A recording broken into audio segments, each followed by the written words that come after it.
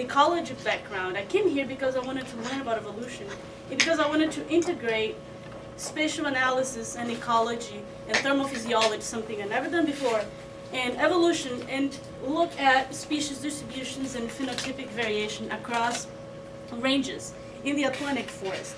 So the major theme, a major question, overarching question of my dissertation is how past and current climatic conditions and habitat use relate to genetic structure and phenotypic variation across geographic distributions. And why do I have so many damn pictures here? So that's why. So in terms of species responses, I'm going to look at phylogeography, genetic structure. I'm going to look at thermophysiology. I'm going to look at morphology. And I'm going to relate those with environmental change or environmental attributes. I'm going to look at species distribution models and habitat suitability, both current and historical. I'm going to look at microclimate, especially temperature conditions in the microclimates.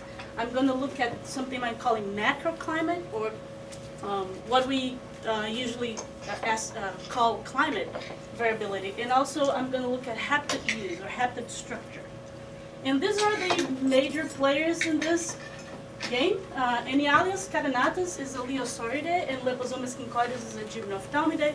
These are two species of lizards that are really prevalent in the Atlantic forest, especially in the central Atlantic forest, where my um, research focuses on, and I'm going to uh, give more details about this region and this species in a moment. So here are some very depressing facts about the Atlantic forest, but let's start with the good stuff. So it's beautiful down there, and um, originally the Atlantic, first of all, this is South America. This is the Atlantic Ocean. This is Brazil over here. You see the state limits there. I want to uh, uh, call your attention to this beautiful place called Bahia up here. Minas Gerais is up here. This is Espírito Santo, and this is Rio. And why am I talking about those places? Because they're going to be very important for what we're going to talk later. And my research really focused in that area, the Central Atlantic Forest.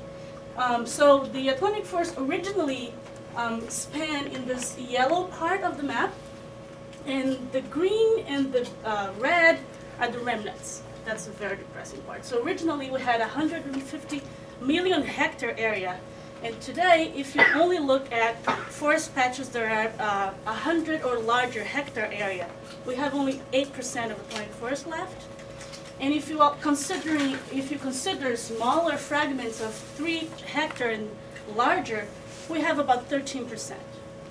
And it's not evenly distributed. As you can see, most of it's down here in the in southeastern Brazil.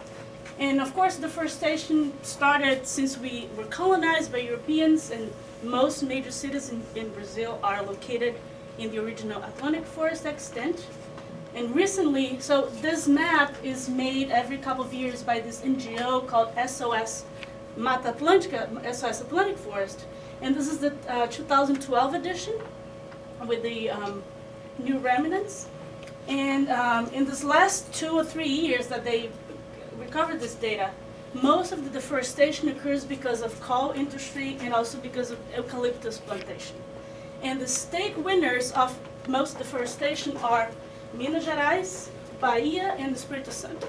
And it's especially uh, important because these areas are, you're going to see how important phylogeographically those areas are. And in, um, in terms of municipalities, the only reason I bring them up is that because this one, a really funny name, Jequitinhonha, I'm going to refer this as the Jack region, is the second one um, with most deforestation in the last two years. Um, the Atlantic forest is incredibly heterogeneous. Uh, if you remember the previous slide, it ranges in a very large latitudinal gradient, so you have a lot of different climates. You also have many different vegetation physiognomies. Here I'm, gonna, I'm showing you uh, a detail of Brazil. This is Bahia, Minas, and Espírito Santo. Down here you have different colors. So you have four different forest physiognomies that belong to the Atlantic forest here. You have what, what's called by WWF, the Bahia Coastal Atlantic Forests, you have the Bahia Interior Forests, you have the Serra do Mar coastal forest down in Rio de Janeiro, and then you have the Atlantic Dry forest. And this is all Atlantic forest. And um, you have uh, climates, you have different uh, physiognomies, and you also have topography that adds um, uh, heterogeneity both in vegetation and climate. Um, it's incredibly rich. We have around 8,000 endemic species of vascular plants, herbs, birds, and mammals in this area. Um, based on uh, a bunch of phylogeographic studies covering the Atlantic forest, we cover at least three very distinct areas. The northern region, up here, the central Atlantic forest and the southern Atlantic forest. And this map comes from this paper that looked at distribution and endemicity in these areas, and they even they went even further and subdivided those those regions, and they found nine distinct areas in the Atlantic forest. So all this biodiversity, these very complex patterns of endemicity in phylogeography, and the threat makes the Atlantic forest one of the biodiversity hotspots. Um, so a little bit about the species, as I said, these two species, actually these two genera are really prevalent in the Atlantic forest. These two species are uh, prevalent in the central Atlantic forest. They're very different. Um, you cannot see by the picture, but the, uh, the body size is really different. Enyalius is very abundant in primary or secondary forest. It really likes a good forest. It's a similar arboreal species. There are nine species of Enyalius in the Atlantic forest and only one with the Amazonian distribution. And this family, Leiosauridae, is distributed in South and South America, and Enyalius is the one, excuse me, um, is the genus with the northernmost distribution. Leposoma belongs to the family Gymnophthalmidae. It's a forest generalist.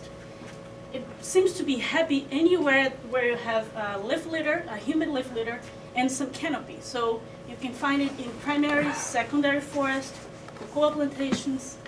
Um, there are seven species, well, six described and one being described by now in the Atlantic forest and 11 species in the Amazon and Central America. And different from Enyalius, and the Leiosauridae, the Gymnophthalmidae are basically a tropical family, and Leposoma has the southernmost distribution. Um, well, actually, no. Um, I'm blind. Leposoma is distributed in southern South America. Um, here's the squamate tree of life from uh, Pyron al. paper, and I just want to point out that these two species are not at all related. Up there in Lacertoida, you have Leposoma, Gymnophthalmidae, and down here in Iguania, you have Enyalius. So I'm really sampling um, almost phylogenetically independent species in this study. So here's the table of contents. These are my three chapters, and I'm not going to read those the, uh, the titles now because I'm going to repeat them later. But I'm going to talk about two of them, and you're going to see why. They're really rich, and there are many data sets that integrate in both of them, you're going to be pretty tired by the end. And I might have a chance to present this uh, phylogeography, the comparative phylogeography, in a herp group later, maybe. Um, so here we go. The first chapter, I look at how genetic divergence and phenotypic disparity um, correlate um, if they're coupled or decoupled and how the landscape can help us understand why they're coupled or not. And whoa, um, I found out about this effect last night. Um, here I'm going to talk about Leposoma scincoides, and I'm going to look at uh, species distribution modeling, phylogeography, thermal physiology, haptotues, morphology, and microclimate. So uh, it's really, a lot of people are interested in the patterns of divergence and phenotypic disparity because the correspondence between them has the potential to explain mechanisms of diversification and also the buildup of biological diversity. And there are only a handful of mechanisms that drive those patterns at the end. So you have genetic drift, you have natural selection, you have sexual selection, you have gene flow. There are, you know, but together um, um, influence those patterns. And it's really hard to disentangle the, um, the role of those uh, mechanisms. But I want to argue that if you use, use the landscape, if you look at those in the context of the landscape, you can really have a better sense of how those components um, are important. Because a landscape integrates both a spatial and also the ecological components that might be important in those patterns. And um, the integration of those questions with the landscape is a somewhat new subfield of landscape genetics um, that uh, Funk and Murphy um, recently um, featured, let's see, featured in a paper of molecular ecology where they um, review a bunch of papers that use this um, approach. so um, I think we have this kind of null model in our minds that when lineages, when divergence starts to accumulate among lineages, we expect that phenotypic disparity also accumulates. And I'm talking about at the level of interspecific lineages or close related species, because of course divergence might might um, accumulate, and and we know that there are some uh, constraints in phenotypic disparity. The morphospace is not completely uh, filled with species and forms. So and so we expect a concordance between divergence and disparity. And if we think about in what scenarios you might think you might find those Imagine that each point is a pairwise comparison between two lineages or two populations. So in area A, you have distant related lineages that probably might occupy distinct environmental conditions because they're very divergent genetically and they're very distinct phenotypically. So you might expect that genetic drift and divergent selection might act creating that pattern. Down here in B, you have low divergence and low disparity. And you might find uh, here, this point might be between two lineages that recently diverged, or they're exchanging genes because they're geographically uh, uh, close, for example, and they probably uh, live in very similar environmental conditions. So, not enough time passed so drift could accumulate divergence between them, and they might be under uniform selection. But let's be creative. Let's think outside this line. And maybe other areas of this graph are populated with points. So C and D. In, in what case, in what scenarios, um, what scenarios can we imagine that create those patterns? For example, in C, you have low divergence and high disparity. And maybe you have those recent, like, recently divergent lineages that are in really different environments. So divergent selection might have act very quickly, and, and then they show different phenotypes. And in D, you have very distant related lineages that might be under uniform selection. So there is no reason why they are phenotypically distinct. So my goal is to use this approach and look at a group of lizards, uh, Leposoma scincoides, and look um, how geographic distance, habitat resistant, resistance, climate stability affect the patterns of concordance of discordance between divergence and phenotypic disparity in a, in a especially um, explicit context. So here's again that map with the vegetation physiognomies, and those little dots are distribution points. That's where Leposoma scincoides is present, we know. It might be present in other areas that we haven't visited or don't have reliable information. And Leposoma really likes this, this messy wedge forest with, with um, a canopy and a, a leaf litter. But if you notice, there are two points that are kind of out of place because they're not really on, on the coast or in the green areas. And we're really surprised. It was uh, field work for my dissertation that we find out about these two very disjunct populations of Leposoma scincoides they are in very distinct habitat types. So up here, I'm going to call this MIG. You're going to see this again and again. You have that environment up there. You have a heath-like environment. So Leposoma is both in uh, forest and that more open area. Because in, in that area, you have this mosaic of open and closed canopy forest. And down here, this is Jack. See why Jack is important? And one of the winners in the first station.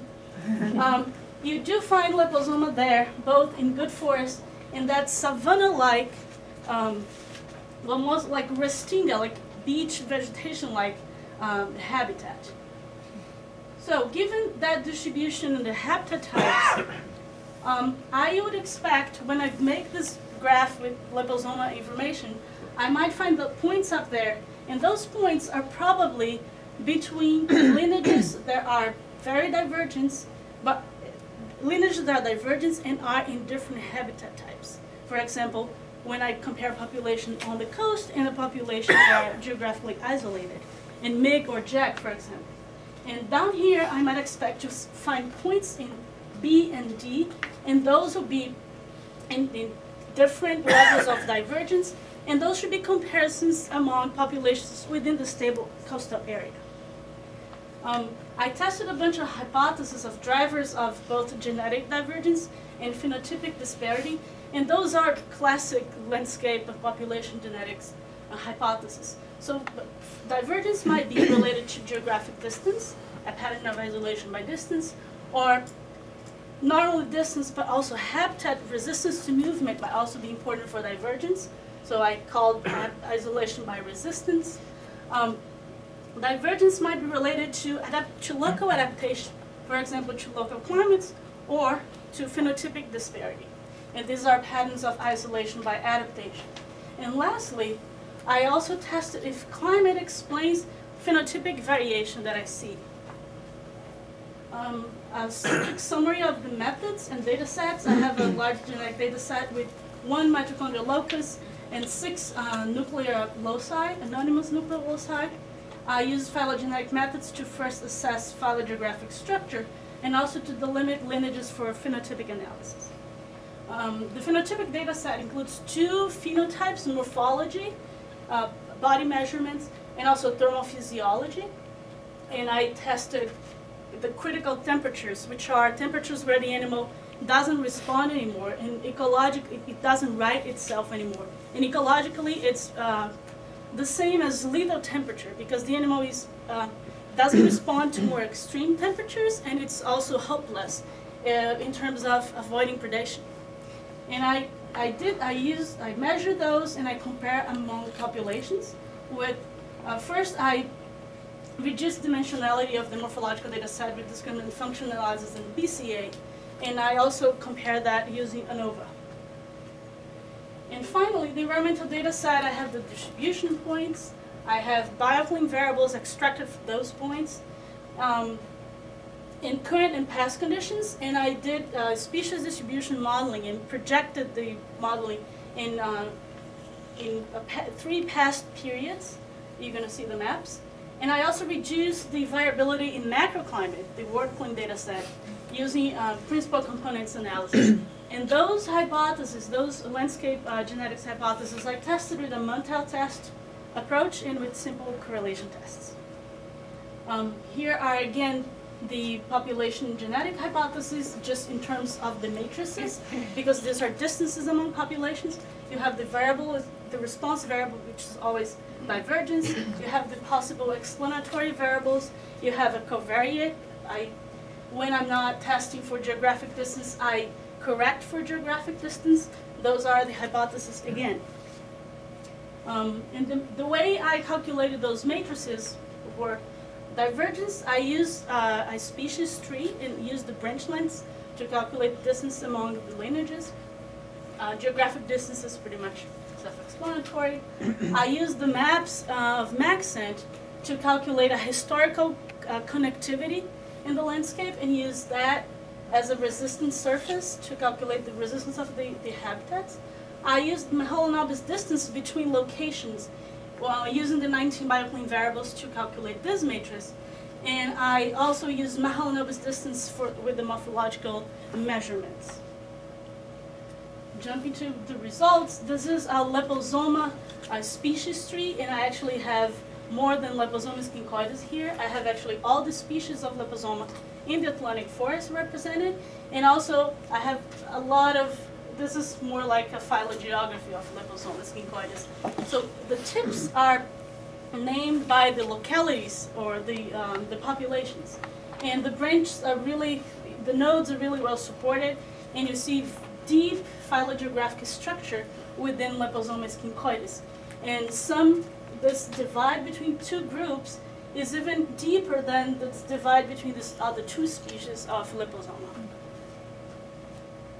And here are the lineages I collected phenotypic data for.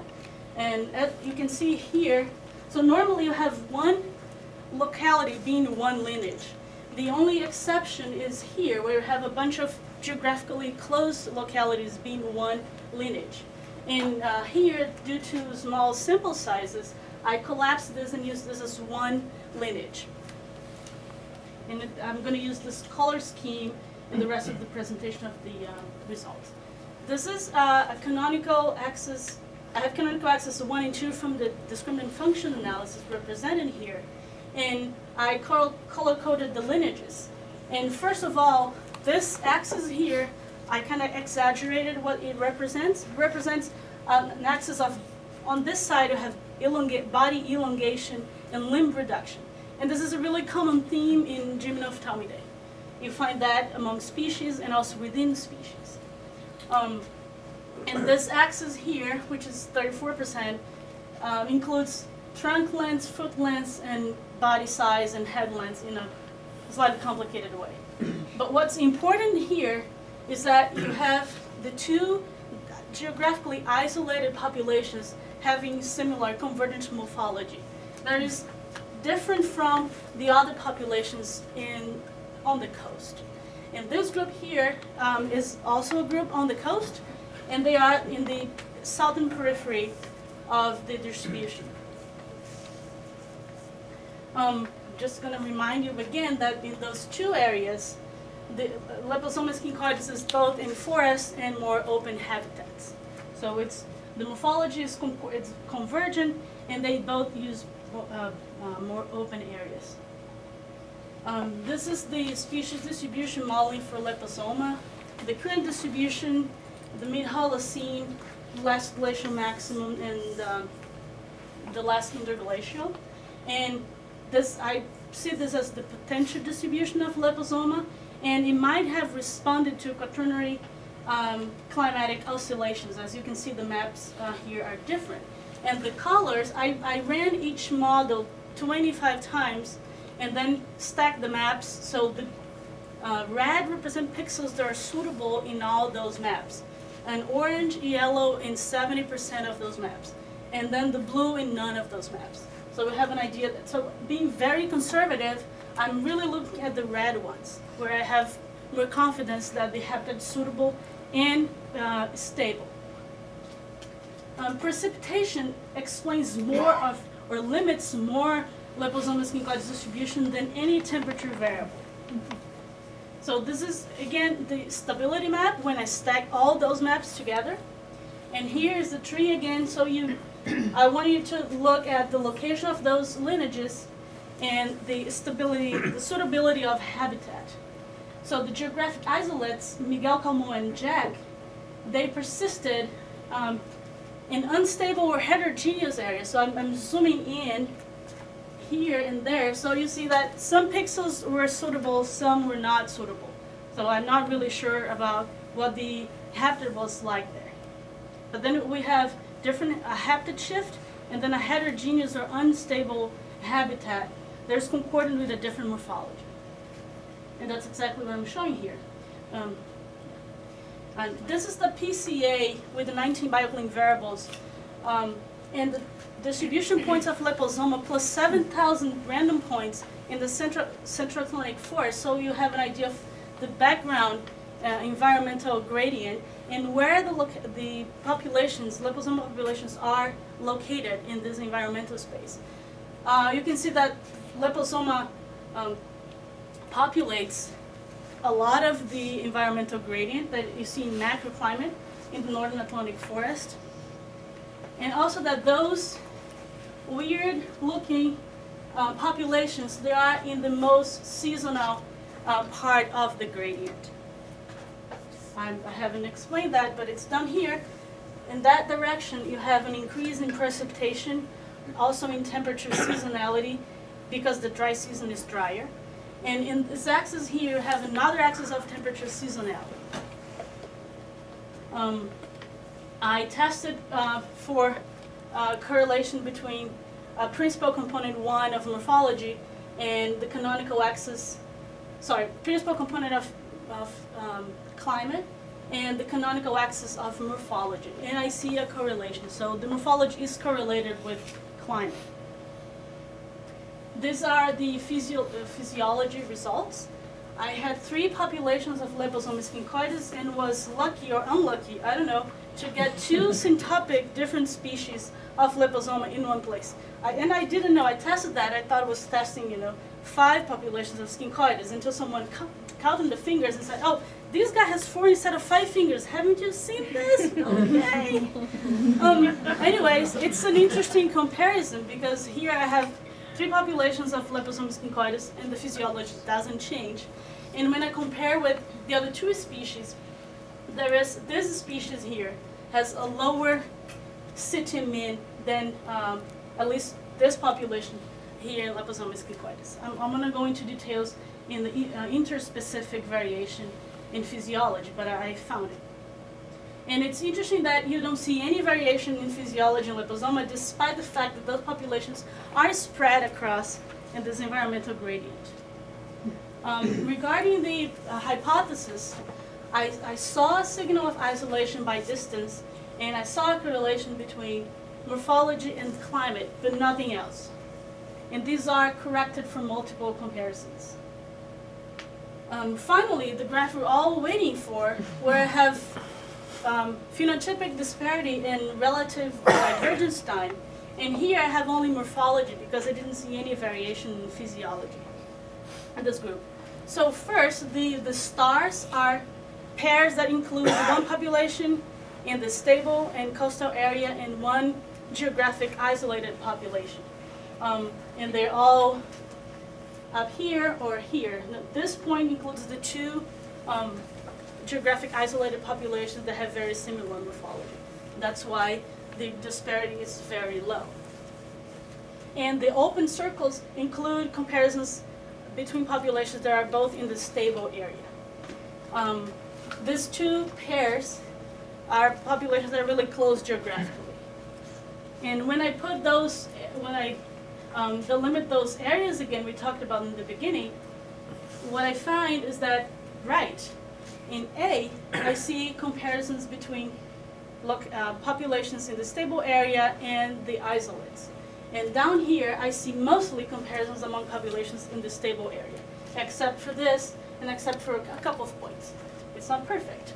Uh, and here I also have very distinct, uh, morphologically distinct lineages that have um, moderate divergence time. Um, and to put that in a broader context, I did the same, but now I included those uh, filled circle points. These are interspecific comparisons. So I have different species of Leposoma being compared here. And what's interesting, oh, I didn't uh, point out something important before, is that there is no correlation here. You can see the there's the test for correlation. There is no correlation between divergence and disparity within Leposoma scincoides. But there is among Leposoma species because there is a correlation here. And what happens is the, um, the geographic isolate populations that are weird morphologically and live in a different habitat, they do disrupt the concordance we expected to find between uh, uh, phenotypic disparity and genetic divergence.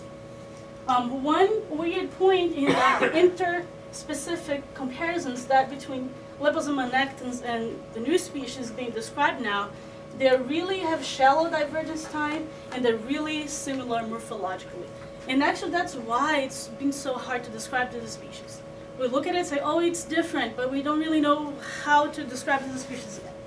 Um, and, at, and as a summary, we see that isolation by distance and long-term persistence explains the default geographic structure within this low vagility species, especially because those populations are in this stable area.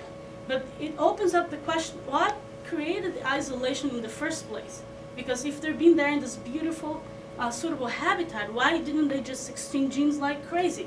We don't know that, and probably the isolation mechanisms are not related to habitat type um, or morphology, because we don't see differences in morphology. We do see uh, isolation in, because of geography, and that's also concordant with habitat shifts, but it's hard to, to um, decouple the role of uh, geography and habitat shift in this case. Um, and we, we think that also chemical reception, chemical communication might be important in this group because if you look at all the species of Leposoma, they all look the same, they're all small and brown. So there, there has to be a way that they recognize each other. And we're going to follow up on this in my postdoc work. We're starting to do chemical profiles of different populations of Leposoma. Um, precipitation lim limits Leposoma's uh, distribution more than temperature. So it's concordant with the lack of variation in thermophysiology. Uh, climate explains morphological variation, and this is concordant with local adaptation of plasticity in body size. and body elongation is related to drier climates, and this is concordant with a, a, a pattern for this family. Uh, morphological disparate lineages inhabit more seasonal areas, and there is this morphological concordance. So we think that habitat shifts are driving morphological uh, differentiation here.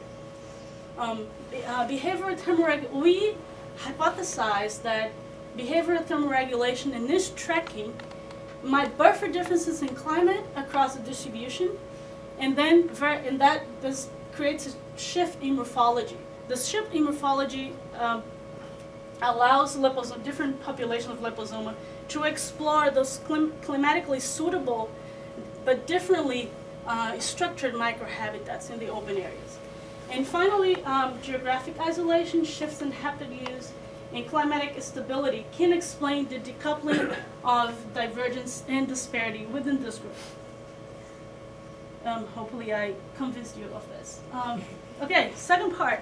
This is shorter, I promise. Um, so next thing I wanted to look at was uh, thermophysiology. And if this is a possible mechanism that explains distributions and also uh, geographic, um, phylogeographic patterns. So here it is, evolution of thermal sensitivity and thermal opportunity in the tropics, geographic variation, acclimation in microclimates. And now I'm going to talk about both species. Of course, I'm going to talk about thermophysiology in the context of phylogeography, and I'm going to look at macroclimates, microclimates, and habitat use. Um, so for ectotherms, temperature is really, really important for the biology and natural. They don't function if they don't achieve a certain temperature. And that doesn't depend on diet or metabolism. It depends on environmental temperatures. So the sun has to come out at some point, otherwise. um, so there are many, um, recently, there's been a lot of um, concern about how vulnerable those uh, organisms are then to future climate warming. Um, and all those ideas actually stem from a classic paper published in 1967 by Daniel Janzen, uh, where he says mountains are higher in the tropics than in the temperate zone. And all this comes from a very clever observation about variation in climate in an altitude and elevation gradient in both temperate and tropical areas. So um, if you look at this, um, this graph now, this is, um, these are the month, the year, this is temperature, this is a tropical place.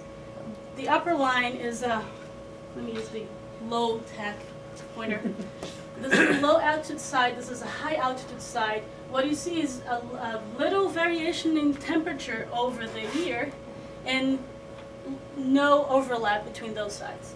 And Janzen said, so this should um, select for populations that are locally adapted to those narrow and non-overlapping conditions. Differently, in the temperate zone, a low altitude and high altitude sites have a lot of temperature variation over the year, and there is a lot of overlap. So these populations here, they much they should have much broader temp uh, thermal um, limits, and they actually are okay. Populations from low altitude are okay to move to high altitudes because in those places, they're at some point in the year, they're going to experience the same conditions they experience in their native site. Um, and indeed, there over this 50 years, a lot of people have tested those ideas and those predictions. And this is one example when um, uh, Deutsch et al., it's a PNAS paper, they looked at multiple insect populations and they um, tested the critical temperatures and the optimum temperatures of those populations and also measured the environmental temperatures experienced in uh, tropical and, and, temperate species or populations. And what you see is that the critical temperatures are much closer to the environmental um, to the environmental temperatures in a tropical area than in the temperate zone. But thermophysiology and the relationship with environmental conditions is a little bit more complicated than that because behavioral thermoregulation and the availability of microhabitats that are different from the macroclimates, they might change the game. So for example, this is a, a Michael Kearney and uh, Porter's paper 2009. They let, uh, they measured body temperature for lizard that was sitting in full sun, and this is the histogram of body temperatures. Um, the same lizard was sitting in 90% shade, and the same lizard was allowed to thermoregulate. So you see a drastic difference in the body temperatures experienced by the same lizard in those different conditions. And most importantly, this gray bar represent the optimal temperatures. So the optimal temperatures, they match almost precisely the uh, most common body temperatures when the lizard was thermoregulating. So this really changed uh, the environment that the organism experiences. And uh, finally, very recently, a, a, large model selection exercise with a huge data set with lizards from across the globe found that preferred body temperature, precipitation explains more preferred body temperature than any temperature variable tested. And that temperature variation, not temperature means, are the best climatic, um, um, explains more of critical thermal maximum than the other variables tested. And only critical thermal minimum was explained more by uh, mean, mean temperatures. And this is surprising because often when you talk about climate change or thermal physiology, people test their thermal physiology always against uh, means, um, temperature means. So these are the three major questions I answered with this study. First, how macro and how microclimates vary across a tropical um, climatic gradient. Is there interpopulation variation in thermal sensitivity? Is there acclimation capacity? And also, what are the climatic drivers of thermal physiology? The predictions is that because they are um, tropical lowland ectotherms, that their thermal limits and preferences should correlate with environmental conditions. They should have, when I look at populations within the species, the ones in more seasonal areas should have broader thermal limits, and there, there must be limited acclimation capacity. In terms of climate, I might, I might expect that low altitudes and high altitude sites might not have a lot of overlap, and that means and extreme temperatures might correlate positively, negatively with altitude. Um, here are again the stability maps for the two species with the populations I got physiology data for. This is altitude. Um, and this is the tree, and I here labeled the lineages I uh, sampled. It's pretty well sampled. The uh, Enyalius catenatus is pretty well sampled. Leposomus is not so much, but I covered, I think, quite a bit of um, environmental gradient and um, latitudinal variation. Very briefly, uh, in terms of environmental data, I got word WorldClim data. I also deployed iButtons in all those areas, and I collected data in those microhabitats over a year. And I experimentally tested the critical thermal temperatures, and also I let the lizard run around in a thermal gradient while I was measuring body temperature to look at preferred temperatures.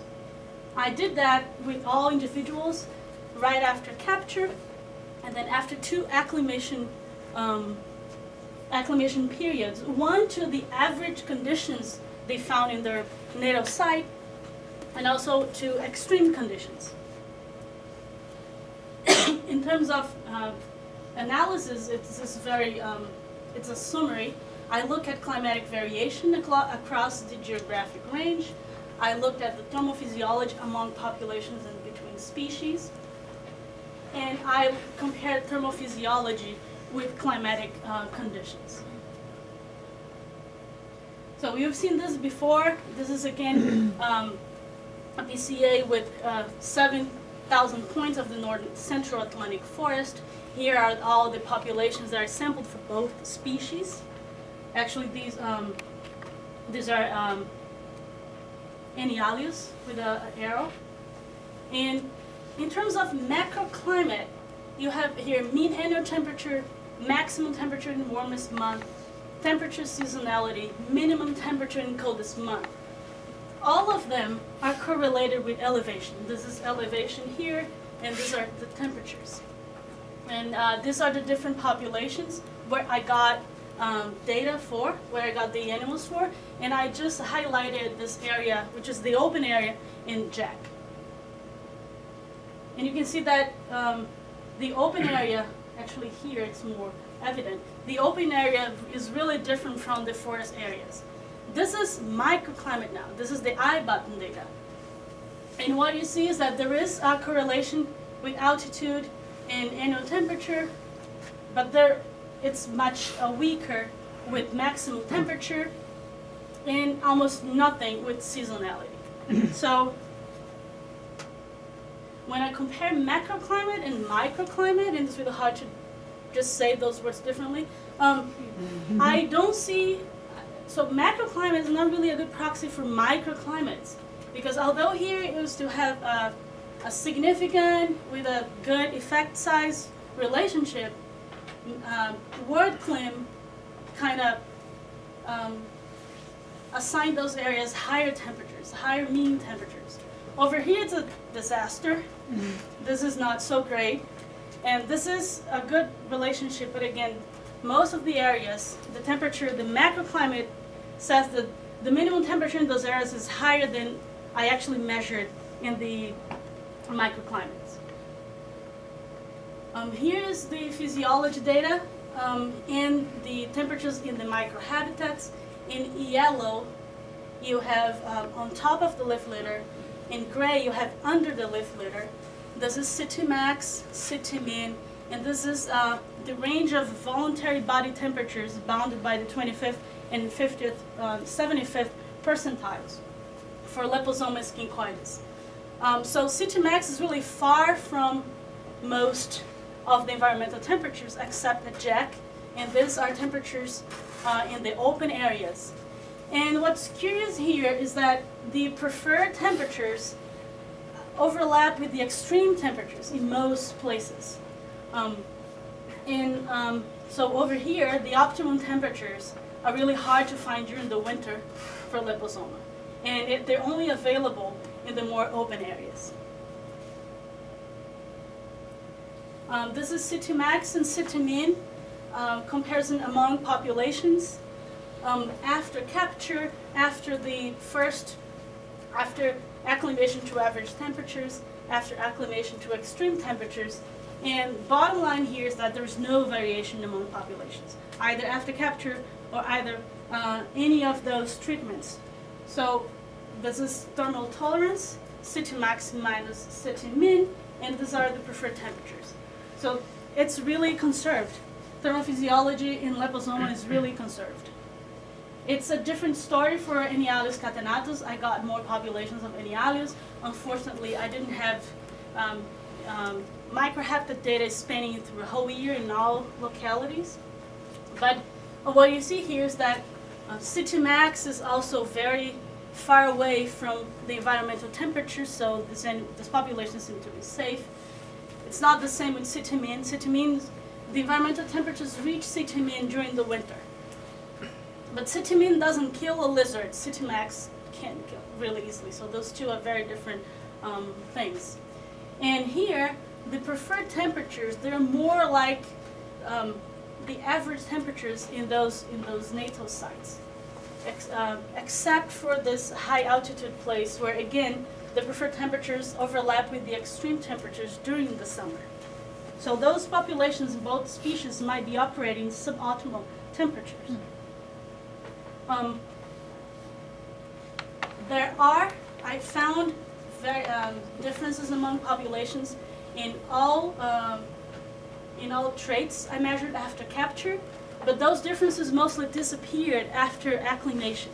So interpopulation variation in the islands is just plasticity, which is kind of surprising because we don't expect plasticity in the tropical species. Um, here, thermotolerance again, um, I had differences after capture, but most of them disappeared, except in this case where I found a different, um, which, which doesn't um, recover the same difference here. And what's really remarkable is that I just plotted the average temperature during acclimation on top of the preferred temperatures. And those animals, they track really well the average environmental conditions with their preferred temperatures. That's, that was really surprising. This is one of the few cases in squamates where I have such a close match. And why are they matching, tracking the environmental temperatures so closely? I don't know, especially because if you remember the microhabitat data, it doesn't change so much in between sites.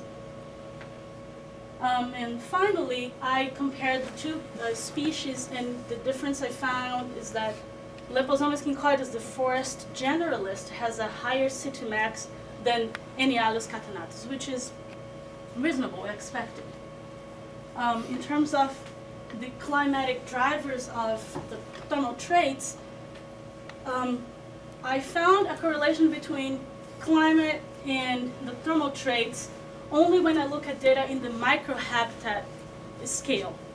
And this is, there is a big caveat with this analysis that I ran multiple ANOVAs and ANCOVAs, so when I correct for multiple comparisons, none of those are significant. But if there is a correlation between climate and thermophysiology, it's only at the microclimate scale. So WorldClim doesn't say much really about uh, physiology in, for these two species. So concluding, um, macro, macroclimate data, WorldClim data, is not so great um, to represent the temperatures that those lizards really experience in the microhabitats. And this might be a pretty uh, broad pattern for tropical, um, tropical climates because Carlos Navas recently published a paper looking at body temperatures and air temperature in, in uh, gradient in the Andes. And the microhabitat data correlates well with body temperature, but not WorldClim data. Um, there is a great overlap in temperature availability in the similar macrohabitats along altitudinal gradient. So uh, the microhabitats really buffer macroclimatic differences. Uh, climate correlates with thermal traits, but only in the microclimatic scales.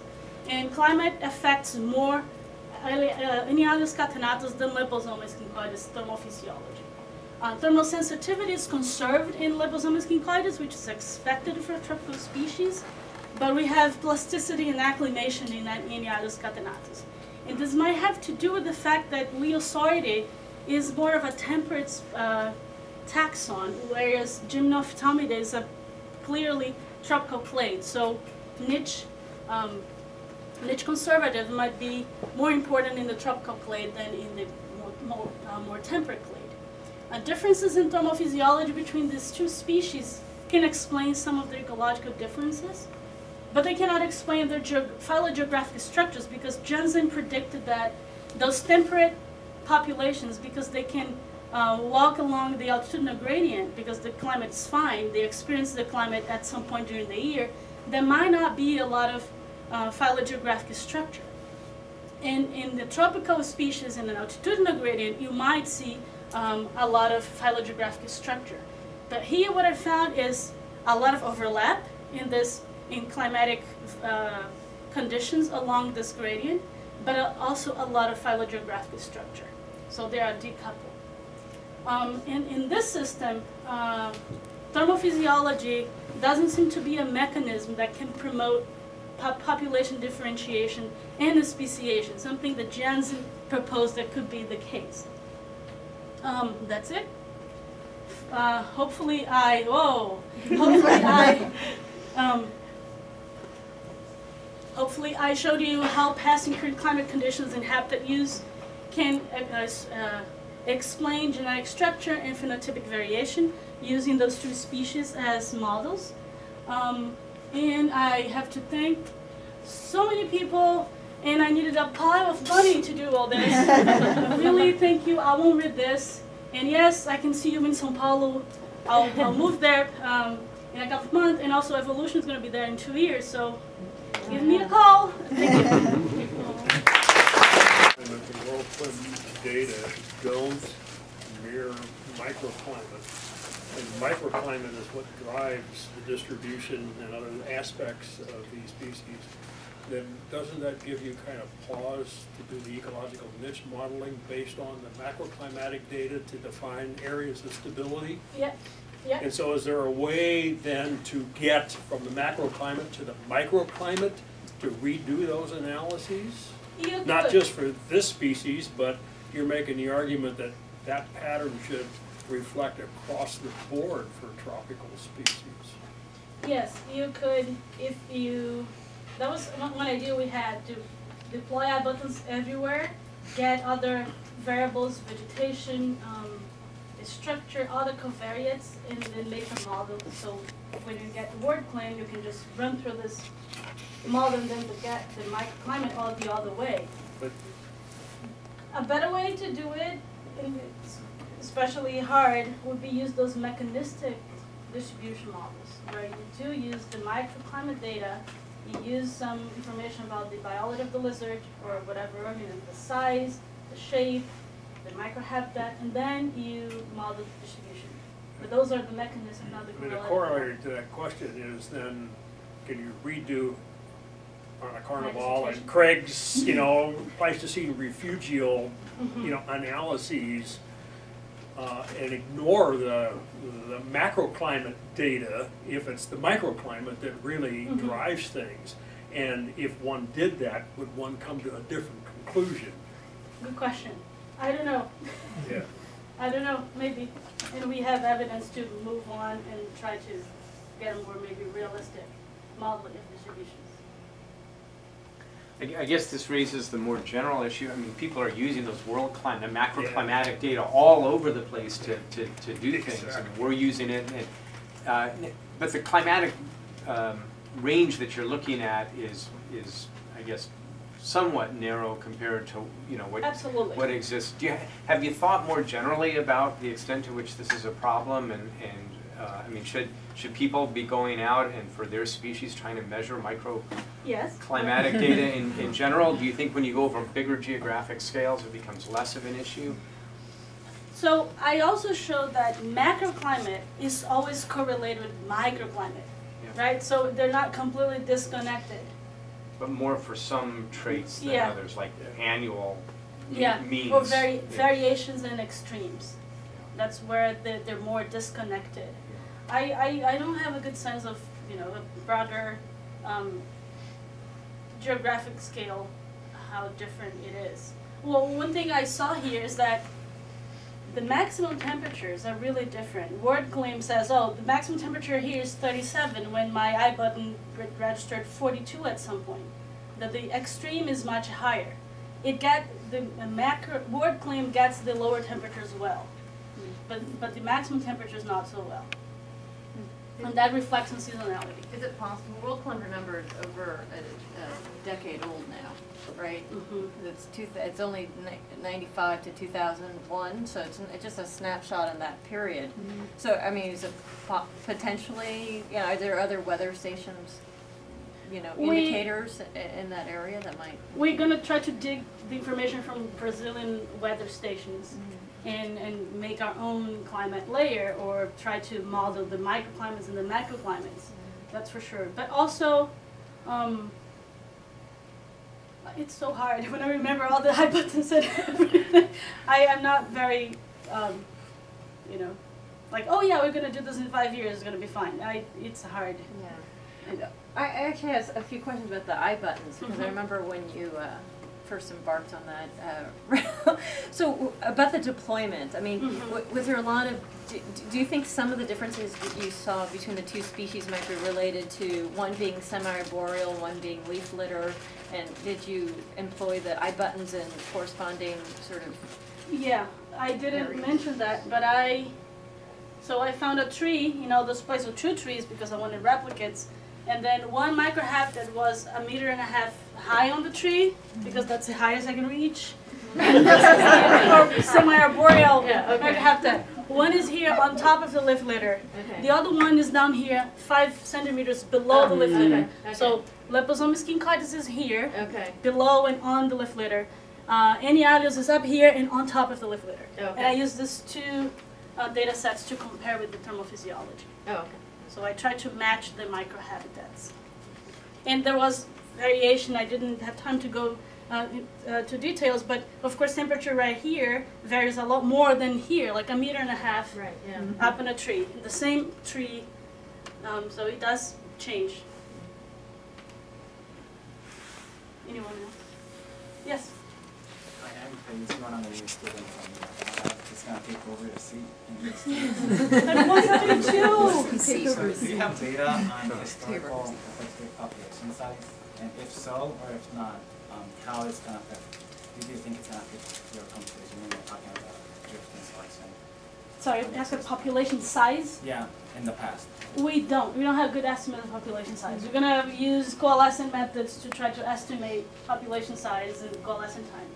That's what we plan to do. Uh, But we don't have good historical records, so we can um, model potential changes in distribution of population size with future climate change. Barry Sinervo published a paper a couple years ago where he proposed uh, a model for that. And he used some data on, on this species, or at least some Leposoma species. But we don't have good data for that. We cannot do a Grinnell project down there yet. Anybody else? In the first part of the talk, it looks, it looked like there was a, um, a, a big break between the northern Atlantic forest and southern Atlantic forest. Yes. And with a, a deep split that you, I mean, you commented actually was older than the split between some other species. The, two questions. One is, what is the age of that, that divergence? And does it correspond with known vicariance events that, and, or similar patterns seen in other taxa? Don't know yet. That's the next step for those, uh, for this uh, next set of analysis. We're gonna try to date. Let me just clarify something. When I said there is a dip, there, th- this is split is between the northern and southern scincoides group. Right, that's The- the one I'm. Yeah, but this group is all in the central Atlantic forest. Yeah. It's not central But and when you showed the map, it looked like the clade, the, the, the- those correspond to a northern and, and more northern and, you know, less northern clay. They were both kind of north, but. That's right. That's precise. Yes, exactly. Here. So Yeah. they're they're both here, and the, here is the divide, the geographic divide. Right. Mm-hmm. So what's the age of that split? And Don't know yet. What's the mitochondrial divergence, for The, example? oh, it's ten percent. So it's old. It's it's very old. It's very old. Yes. If you yeah, if you think it's allopatric, if you think of molecular clock, it's what one percent, half to one percent million year. It's very very old. Much And older than the Certainly Pleistocene. older than uh, the twenty-one quaternary- K. Yes. It's, it's older than any of the ages Yeah. you were, you were showing there. Yeah, So, yeah, yeah. so uh, do, do you see that same division in other taxa? Yes, Yeah. I do. Okay. But I also think that those uh, later quaternary climatic oscillations might be important in uh, maintaining the deep phylogeographic structure that was established way back. Okay, So- but they're not explaining that, that division? No, no, no, they're not because Yeah. those splits are much, much older than Yeah. that. Yeah. Anybody else? Yes. I don't think any of your co-authors are here today, Roberta, but I wonder if you'd care to explain, you had mentioned some talk the Lionel Richie effect. Measures of what? Lionel Richie effect. Sounds like a Oh, no, no, I want to, Oral I want to exam answer this question. question. I just, I wondered if you cared to comment on that, that was one of the highlights of your dissertation. Oh yeah, so we realized that my haircut is really similar to all Lionel Richie video clips. you know what? Let's let's just advertise. there you go. I'm, I'm roasting a little bit, the of Lionel Richie posted in various places in the student But have you seen the videos? They're fun. That's why we like it. That's right, there's, there was no music to the, your presentation. Oh. We had, you have high, you know, bars to Where's the reach Craig here. pictures? After the Tom Devitt, you know, Barry White talk. Very white. Yeah, well, how come there wasn't Well, any rich? you know, if you come to the to 3172, we do have musical moments in the office. Musical moments. Every day we watch a video clip, and Luke, Luke is my witness here. Uh, we do we have great musical and dancing moments in 71 days. Uh, 3172. yeah. So, so yeah, I obviously put an end to the science, but uh, we're wrapping up. Are, are there other questions for Roberta? I'm here next door for three more weeks, so. I, I meant to say at the beginning, I, I was gonna invite, uh, uh, anybody to introduce new people, and I was gonna invite, introduce some of the new people from my lab, but some have already left, so I, my apologies, we'll do that next week. I, I wanna make sure anybody who's new meets everybody else, so. uh, Sorry, Taichi and others, we'll, we'll get to you next week. Thank you, Roberta. Thank you. Yeah, yeah. And so is there a way then to get from the macroclimate to the microclimate to redo those analyses? You Not could. just for this species, but you're making the argument that that pattern should reflect across the board for tropical species. Yes, you could, if you, that was one idea we had, to deploy our buttons everywhere, get other variables, vegetation, um, structure, other covariates, and then make a model. So when you get the WorldClim, you can just run through this model and then get the microclimate all the other way. But A better way to do it, especially hard, would be use those mechanistic distribution models, where you do use the microclimate data, you use some information about the biology of the lizard or whatever, you know, the size, the shape, the microhabitat, and then you model the distribution. But those are the mechanisms, not the I mean, the corollary to that question is then, can you redo Ana Carnaval and Craig's, you know, Pleistocene refugial, you know, analyses, uh, and ignore the, the macroclimate data if it's the microclimate that really Mhm. drives things. And if one did that, would one come to a different conclusion? Good question. I don't know. Yeah. I don't know, maybe. And we have evidence to move on and try to get a more maybe realistic model of distributions. I I guess this raises the more general issue, I mean, people are using those WorldClim, the macroclimatic data all over the place to, to, to do things. I mean, we're using it, and, uh, but the climatic, um, range that you're looking at is, is, I guess, somewhat narrow compared to, you know, what, Absolutely. what exists. Do you, have you thought more generally about the extent to which this is a problem and, and, uh, I mean, should, should people be going out and for their species trying to measure micro Yes. climatic data in, in general? Do you think when you go over bigger geographic scales, it becomes less of an issue?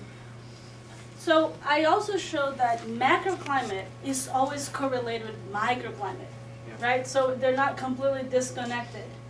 But more for some traits than Yeah. others, like annual me- Yeah, means. or vari- variations and extremes. That's where they're, they're more disconnected.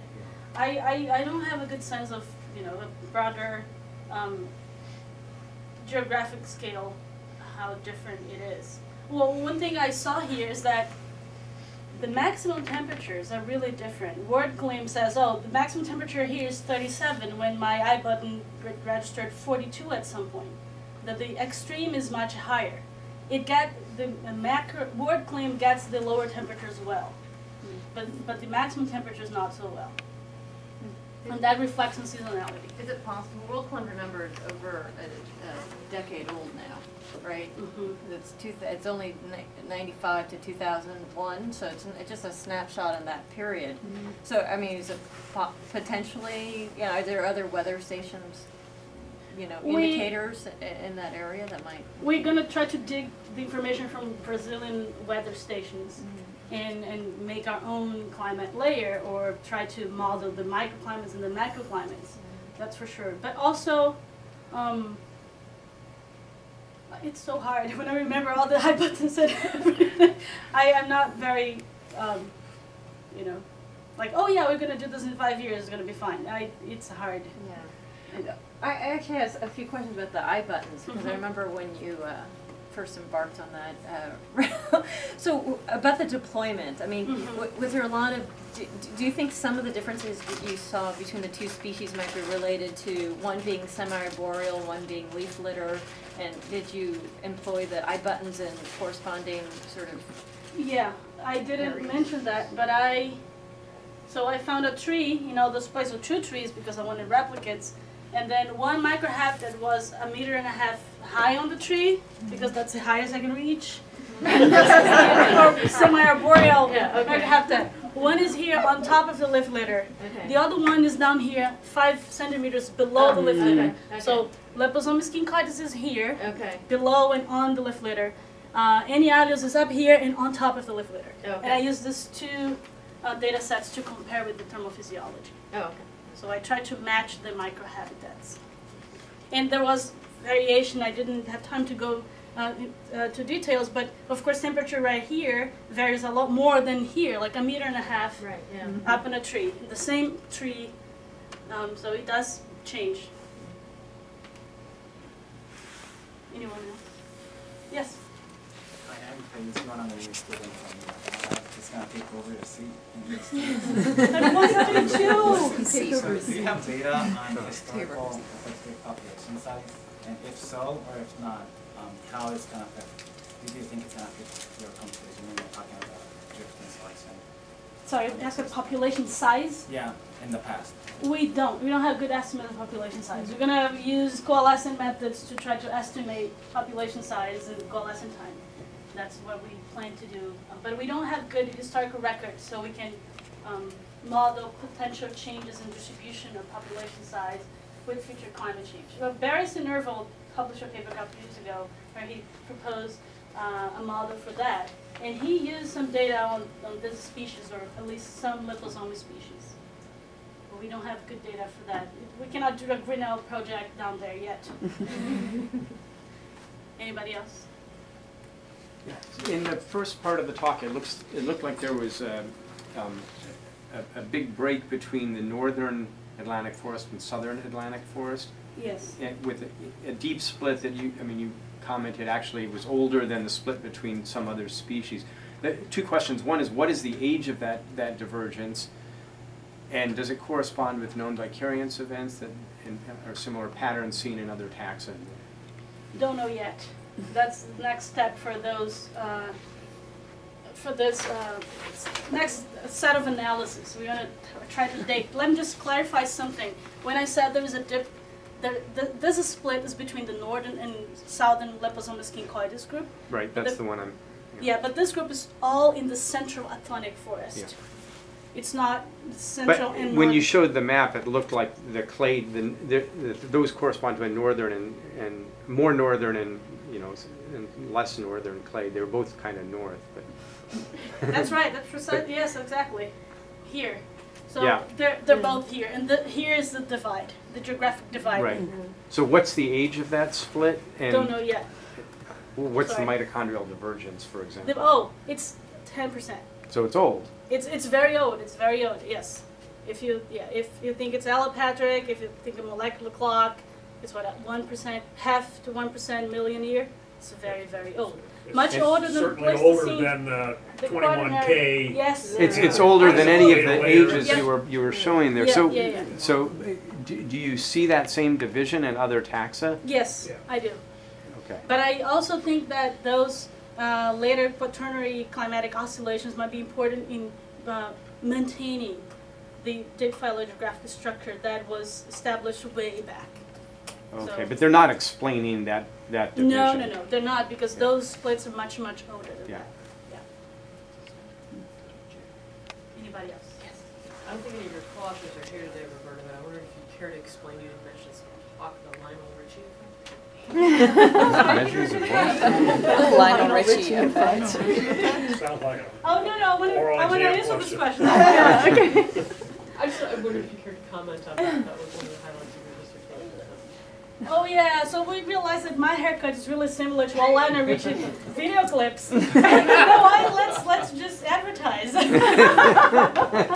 I'm you sorry. I'm, I'm roasting a little bit. The of Lionel Richie posted in various places in the student office. Have you seen the videos? They're fun. That's why we like it. That's right, there's, there was no music to the, your presentation. Oh. We had, you have high, you know, bars to Where's reach Craig here. pictures? After the Tom Devitt, you know, Barry White talk. Very well. Yeah, well, how come there wasn't any Well, Richie? you know, if you come to the to 3172, we do have musical moments in the office. Musical moments. Every day we watch a video clip, and Luke, Luke is my witness here. Uh, we do we have great musical and dancing moments in 71 days. Uh, 3172. Yeah. So, so yeah, I obviously put an end to the science, but we're wrapping up. Are, are there other questions for Roberta? I'm here next door for three more weeks, so. I, I meant to say at the beginning, I, I was going to invite uh, uh, anybody to introduce new people, and I was going to invite, introduce some of the new people from my lab, but some have already left, so I, my apologies, we'll do that next week. I, I want to make sure anybody who's new meets everybody else, so. Uh, sorry, Taichi and others, we'll, we'll get to you next week. Thank you, Roberta. Thank you.